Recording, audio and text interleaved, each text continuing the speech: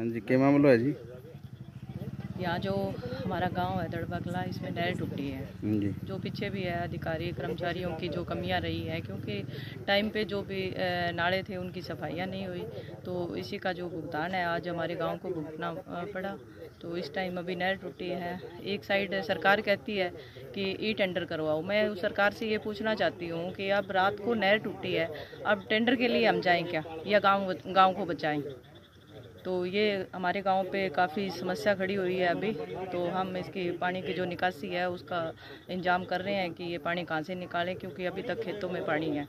तो नहर तो अभी पीछे से बंद तो हुई है पर पानी तो काफ़ी आ रहा है। हाँ जी। अभी दो घंटे पहले नहर टूटी है।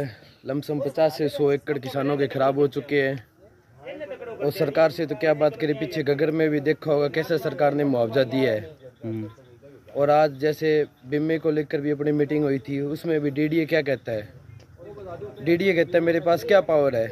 और उसने तो ये तकात कह दिया डीसी के पास क्या पावर है? अरे जब डीसी और डीडीए के पास भी पावर नहीं है तो एक सरपंच से हम क्या कर सकते हैं?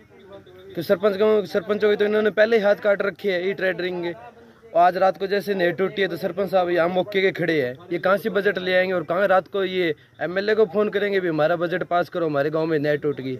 हम किसानों को तेल देते हैं ट्रैक्टरों का किराया देंगे या ट्रैक्टरों की उनकी सहायता करेंगे, ये क्या एमएलए को फ़ोन करेंगे और एमएलए रात को क्या संसद में बैठ के अपना बजट पास करेगा?